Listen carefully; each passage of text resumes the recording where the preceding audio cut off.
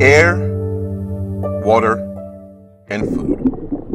The three consumables required to sustain life, as we know it. And since humans are living organisms that we do know, these requirements apply. In all three cases, the body chemically transforms or mixes the input material into a more complex output product oxygen into carbon dioxide, water into urine, and food into urine and solid waste, among its many other names. On an Earth orbiting space station where available resources are unfortunately limited due to cost, it's important to recycle all three types of consumables. With solid waste, the complexity of food makes it impossible to recover the original materials, so this is not done. Air, or specifically oxygen, is relatively easy to recycle through a two step process. This is done. Urine, however, is a lot more complex than carbon dioxide. It's a mixture of various chemicals and can contain biological or chemical agents which are harmful when ingested. But urine also contains 95% water, and water is the most used consumable on the space mission by mass. Recovering this water makes all the difference between a temporary and a permanent habitat in space, or between a short trip to the moon and a long journey to Mars.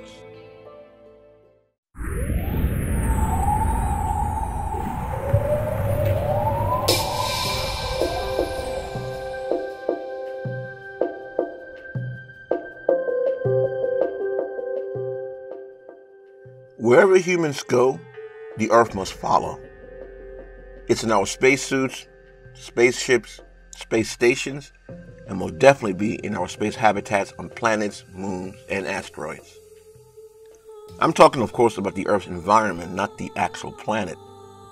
Earth, for the most part, is a closed system as far as matter is concerned. We're stuck with whatever we had 4.5 billion years ago. Even though millions of organisms transform these limited resources on a continuous basis, we never run out of them. This is partially due to the evolutionary development of organisms over millions of years that are able to convert complex chemical products into the original simple resources. In nature, nothing is recycled. Every organism just uses what it can. Eventually, a stable system emerges with the relatively few organisms that benefit and contribute to that system. Even if the system is not well balanced, the sheer size of the Earth makes these imbalances inconsequential for a month, a year, hundreds of years, or even thousands to millions of years. But eventually, an unbalanced environment won't be able to sustain all participating organisms. And this is the potential fate that the engineers of the International Space Station, or ISS, had to avoid at all costs when they built the biggest permanent space habitat to date. The ISS orbits the Earth at an altitude of only 408 kilometers. That's a relatively short distance from the ground. It's so close that it's technically within the Earth's atmosphere, the thermosphere region to be exact, but there's rarely any air there. Still, Getting there requires a lot of energy, not only due to the height, but also the incredible speed of 7.66 kilometers per second that's required to dock with it. All this translates to a high cost per kilogram for resupply.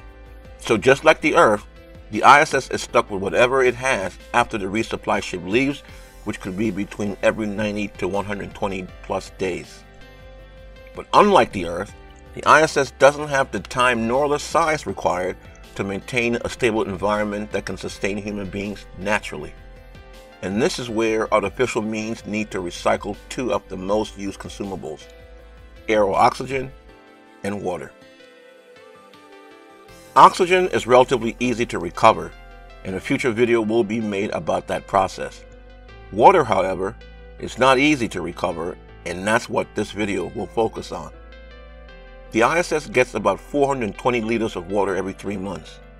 The astronauts are allotted 11 liters of water a day at most. There are usually six astronauts aboard the ISS. It's easy to see that without a way to recycle the used water, the ISS would have to be resupplied with water every month. This would be very, very expensive at a rate of about $22,000 a liter. The ISS has two independent water recycling systems. One is in the Russian section of the ISS, and the other is in the US section. We'll only be talking about the water recycling system in the US section in this video because more information about it is available online. The system has two main components, the urine processor assembly or UPA and the water processor assembly or WPA. The UPA extracts water from the urine and the WPA purifies that water along with other sources of water such as water vapor from the air.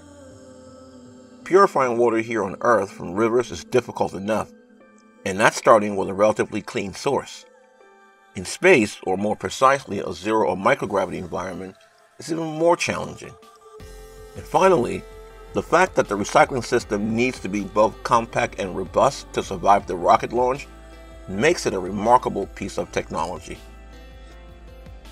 We will now take a detailed look at how the urine processor assembly and the water processor assembly work together to extract and purify water from urine for safe drinking. To purify water on Earth, the general process in the water treatment plant is to remove solid particulates, disinfect to kill bacteria, and finally remove any byproduct created by the disinfection process. The UPA and the WPA combined have the same processes, but with an additional evaporation process added to extract the water to be purified. It all starts when an astronaut needs to urinate. In the restroom is a urine receptacle which is connected to a pump that sends the urine to a storage tank. The pump also prevents urine from floating around. Since running the recycling system continuously would be very inefficient, the urine is stored in a urine storage tank until enough has been gathered from the astronauts to begin processing. Inside the urine storage tank is a bellow that keeps the urine under pressure when it's released.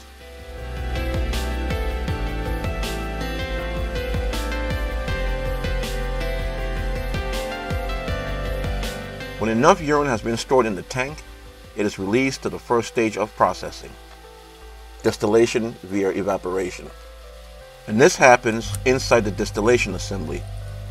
On Earth, this process usually requires heat and gravity.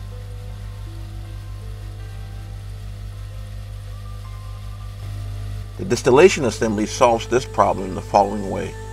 For gravity, a spinning drum is used to create artificial gravity. For heat, the pressure inside the drum is lowered to 1 20th of the normal air pressure this lowered the boiling point of water to about 25 degrees Celsius, which is close to room temperature.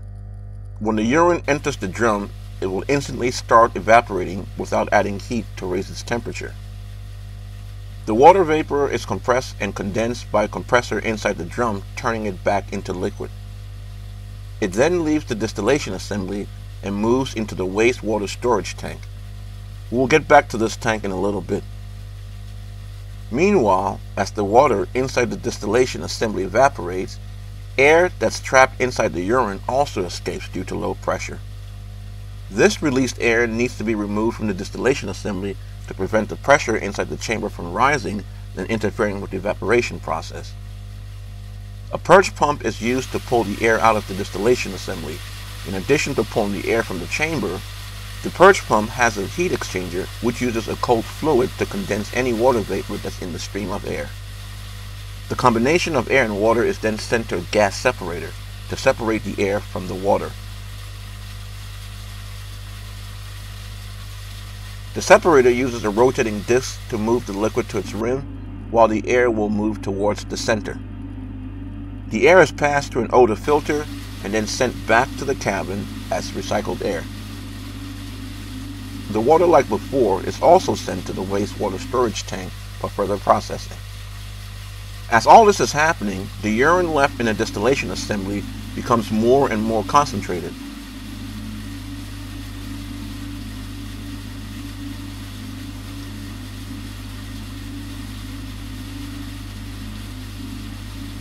At a certain concentration level, a pump kicks in and pulls the remaining urine, which is now called brine, out of the distillation assembly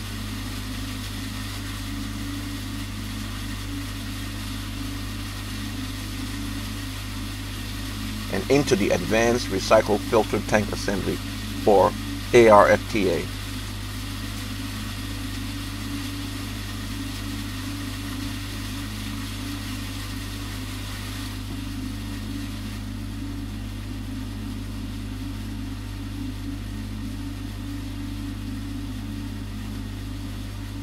When enough brine has been stored inside the bellow of the ARFTA, it will then be compressed to force its content into the brine filter.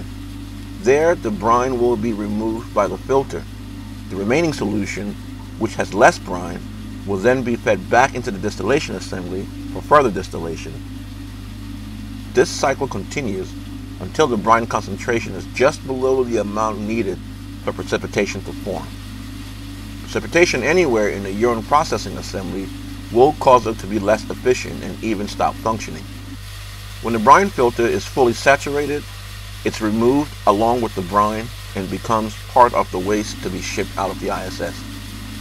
A new filter is put into place and the recycling operation continues. The brine filter is one of the few disposables of the water recycling system. Now back to the wastewater storage tank. This tank is the first part of the Water Processing Assembly, or WPA, and it's the source of the water that will be purified.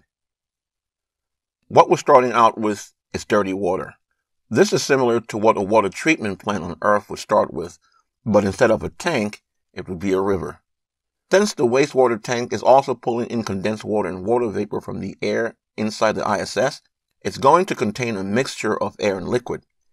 Air buildup inside the WPA may cause reduced efficiency or cause it to stop functioning altogether. So right after the wastewater leaves the storage tank, it's fed to a gas separator. The separated air, just like before, is fed into the cabin of the ISS as recycled air. The dirty water, however, still has many steps to go before it can be fed back into the cabin for normal use. After leaving the gas separator, the dirty water is fed into a particulate filter this filter removes solid like dust and hair particles down to 0.5 micrometers that are suspended in the dirty water.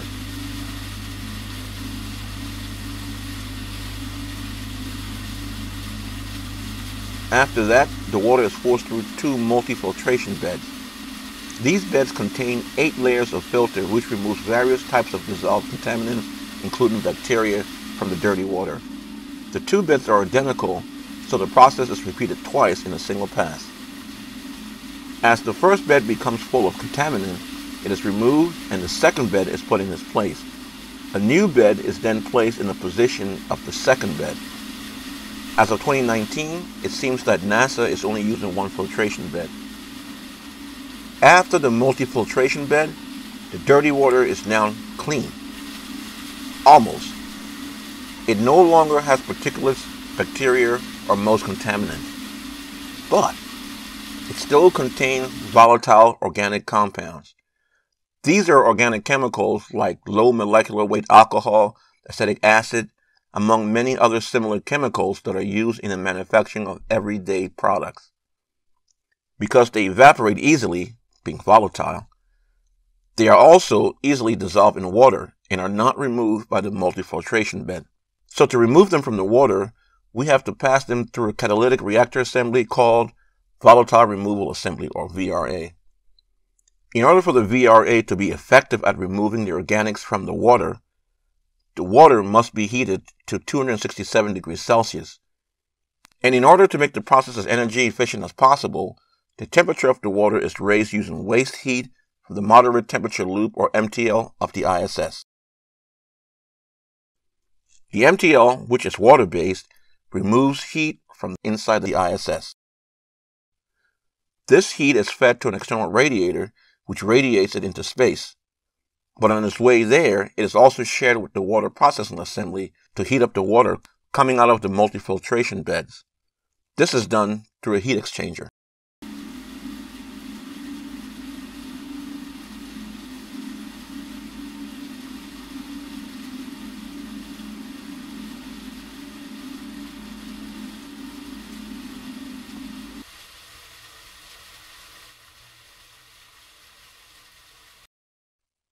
After this, the water is passed through a regenerative heat exchanger to further raise its temperature and increase the energy efficiency.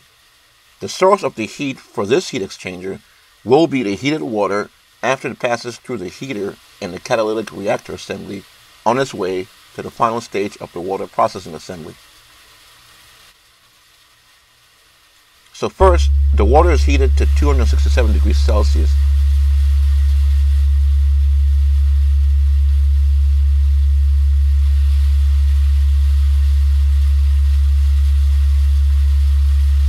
Then it enters the catalytic reactor assembly. As it flows through, oxygen is introduced into the reactor which neutralizes the dissolved organic volatiles by oxidizing them. After the reactor, the hot water is fed through the regenerative heat exchanger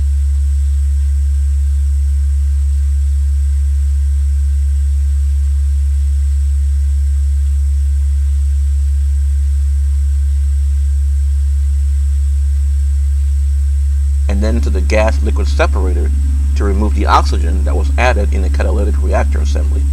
The oxygen is returned to the cabin of the ISS.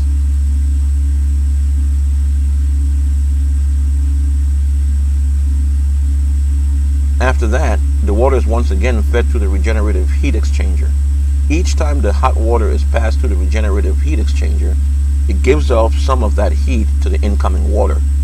And this means that it will require less energy to raise the incoming water to 267 degrees Celsius. It also means that the hot water is getting cooler as it approaches the end of the purification line. Finally, after the warm water leaves the regenerative heat exchanger for the second time, it is sent to the final processing step in the water purification process, the ion exchange bed.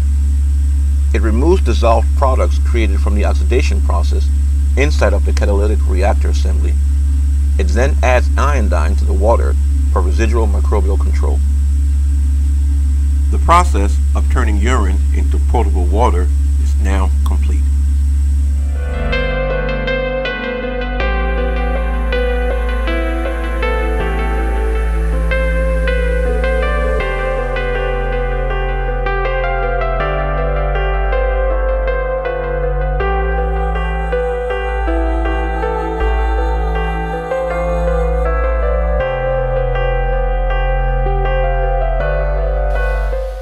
Is sent to a product water tank where it is stored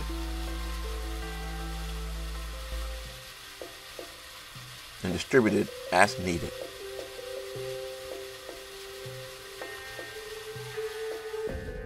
As complicated as this diagram looks, it's a simplistic general view of how the actual water recycling system works on the ISS. Each component has way more moving parts than shown in this animation. And this goes back to what was stated at the beginning of the video. The Earth has the ability to maintain a stable environment over thousands or even hundreds of millions of years, with millions of species independently affecting it. But such stability comes at a cost of time and requires the size and mass of a planet, something that we humans may never be able to reproduce. So, if we plan to travel the stars and roam the galaxy, the next best thing is to artificially simulate the Earth's environment as much as possible, take it with us, and hope that we've simulated enough parameters accurately that it will allow us to reproduce successfully for millions of years. I'm Dex DFX for the Celestial Sphere.